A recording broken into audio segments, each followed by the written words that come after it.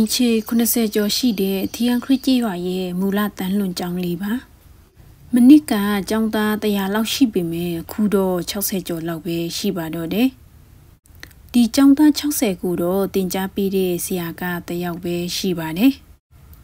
ရွာတကြီးကလည်းစာတင် जा ပေးမဲ့ဆရာဆရာမတွေမလုံလောက်တဲ့အပေါ်ကိုအခုလိုဆိုထားပါတယ်။တော့ကျောင်းဦးတဲ့ဆုံးတောက်တော့ဟောင်းနီနော်တဲ့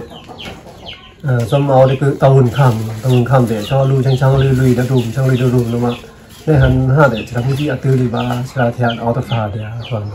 တော့ဘာကျန်တော့တင်ကြရေးနော်အချောင်းပလေးပေါ်ပလေးတောက်စီလို့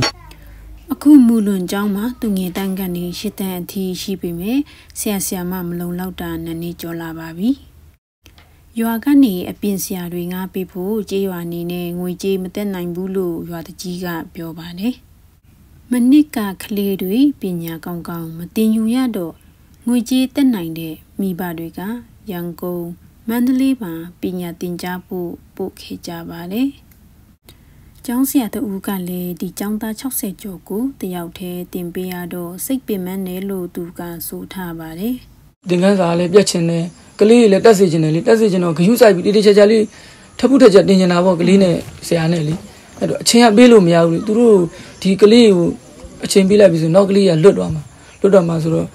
နည်းနည်းလေးတင်ပြီးတော့နည်းနည်းလေးနဲ့ရအောင်တင်တယ်နည်းနည်းလေးကိုခဏခဏဆူခိုင်းနေအဲ့ဒါမှသူတို့ကရမှာလေအများကြီးတော့မြန်မြန်တော့တင်လို့မရဘူးပေါ့